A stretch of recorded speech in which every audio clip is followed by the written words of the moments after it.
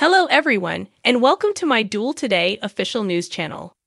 I hope everyone is having a wonderful day. Before we begin, please hit the subscribe button and give this video a thumbs up. When Sarah comes out of the guest bedroom, she finds Xander wearing a black t shirt, and he's preparing haggis, which is mashed turnip and potato. He was going to bring her breakfast in bed, but he would definitely knock politely first. When she was in bed, he wouldn't dare to walk in. Sarah suggests slyly that he might have done it. Tripp returns home from the hospital in a gloomy mood to find Wendy has left for Hong Kong tonight. With remorse, he tells her he can't accompany her since he believes Ava is connected to the drug trade in Salem. Wendy respects his desire to care for his family and recognizes that Ava needs him now more than ever. Tripp inquires as to their implications. At the police station, Justin says that Tate's bail was revoked because the judge was persuaded by EJ that Tate poses a flight risk due to the riches of his family. Tate asks what would happen to him when he interrupts his parents' panic attack. Tate would be sent in juvenile hall. But according to Justin, he will submit an appeal and look at other options first. Justin clarifies that's not how the system operates, but Alex still wants to throw money at the issue. A beaming EJ strolls in. Brady gets restrained from lunging at the smarmy DA by Alex, Justin, and Rafe. While enjoying their coffee, Sarah and Xander are impressed by their daughter's recovery from her fever. Sarah's preparations for New Year's Eve were spoiled, and Xander apologizes. Sarah remembers their kiss at midnight. I wouldn't say that they were destroyed.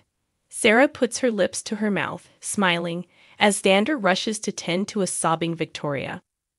Sarah has finished and is loving her Scottish breakfast when Xander and Victoria return. After a disagreement about how to pronounce the word scones, Sarah hopes Victoria will adopt Xander's accent.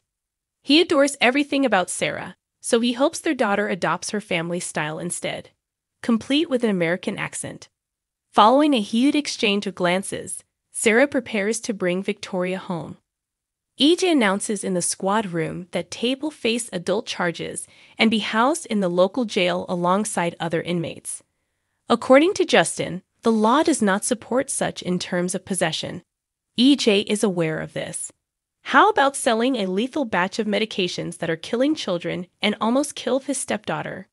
How about manslaughter or attempted murder? Is he able to achieve that? Theresa asks. If the offense is appropriate, Justin says he can prosecute a kid as an adult. Alex understood they ought to have chosen a different attorney, when his youngster doesn't understand what he's talking about, Justin gets angry. Alex then charges EJ with controlling the judge. Tate begs at him to halt, but he still approaches EJ.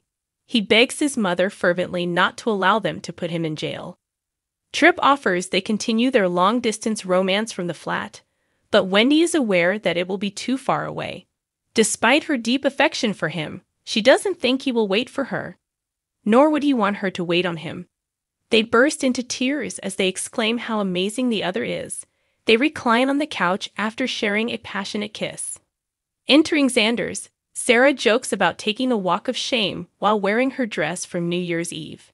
Regardless of what she wears or doesn't wear, he finds her to be gorgeous. As they awkwardly strike up a conversation, Xander suggests that she move in permanently with our daughter. Sarah claims that she couldn't leave Maggie because of her worries, is she just searching for an excuse to say no? Xander wonders. Sarah acknowledges this, citing the difficulties of cohabitation. Xander mentions the kiss they had. Xander acknowledges he's wanted to kiss her for a while, but she claims it was only an impulse move. She's also done so. Xander could tell. Like all of their kisses, she describes theirs as amazing, but she's afraid of moving too quickly and regretting falling head over heels in love with him once more. Xander assures her that they would only be co parenting and that he would respect her personal space. Following the exchange of absurd boundary lists, Sarah says she's game to try. With joy, he hands her a set of keys. Tate confides in his parents in private at the station about his fear. Brady and Theresa promise to put up a fierce fight to establish his innocence. EJ comments nearby that Tate didn't dial 911 when he discovered Holly, which might have been the difference between her survival and death, even though the drugs weren't his. Tate offers his heartfelt apologies, but EJ thinks it's too late. Theresa doesn't see a husband grieving the death of a child or a guy losing consciousness over his wife's pain when she looks into EJ's icy eyes. She just perceives hostility and resentment. After giving an officer instructions to change Tate, Rafe requests a quiet conversation with EJ. Theresa concurs with Alex that they need to have chosen a different attorney. Rafe asks EJ in the interrogation room, What the hell is wrong with you? While they discuss his behavior, Rafe asks EJ to consider Johnny when he was Tate's age. If someone were to treat him the way he is treating Tate, how would it make him feel? Tate then reappears in jail jeans and gives Theresa an embrace. Brady swears to get Tate home as quickly as they can, as Justin reassures him they will fight this. Rafe comes back to grab Tate. EJ smugly thinks, We wouldn't want to keep your new cellmates waiting now, would we? Theresa refers to EJ as a monster.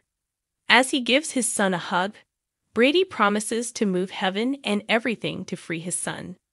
Tate is led away in terror by Rafe after being handcuffed. This isn't finished, Brady assures EJ. Not by much, really. Tripp is getting her car shortly. Wendy says as she and her partner organize their things at home. Though she believes it would be too difficult, Tripp offers to drive her to the airport. Tripp tucks a wooden Jenga block into her purse as she heads to change. Their grip is firm as she comes back. Before she goes, they confess their love to one another. Faces crumpled and tears streaming down their cheeks, Wendy and Tripp lean against the door on either side. Watchers of the series could recall Janelle spending her Christmas without Kody in season 18. She was miserable to see the manner in which her significant other deserted her children during the celebration. Nonetheless, she was content and peaceful to enjoy the festival without any drama. Janelle's most recent Christmas update uncovered that she was so glad to commend the celebration with the children. Fans felt miserable to not see Post in the photos. Notwithstanding, she was partaking in her celebration with her number one individuals without Kody. My and her permanent separation was essentially nothing more than what I believe to be a delicate negotiation of our current situation. What our characters are like, and what we can provide for one another and what we can't. Kody Brown later made sense of that the genuine assessment of the relationship made them mindful of the need to push ahead without behaving like a couple. In any case, I think the acknowledgement of that has carried us to a spot where we can be companions once more, he added. The attention star additionally said that Robyn and Meri are still close. His previous first spouse actually needs to come and see the children. We'll continuously have a relationship of what I trust is at any rate some benevolent companionship, he added. Thanks for watching if you like this video. So please don't forget to subscribe my channel and don't miss any updates.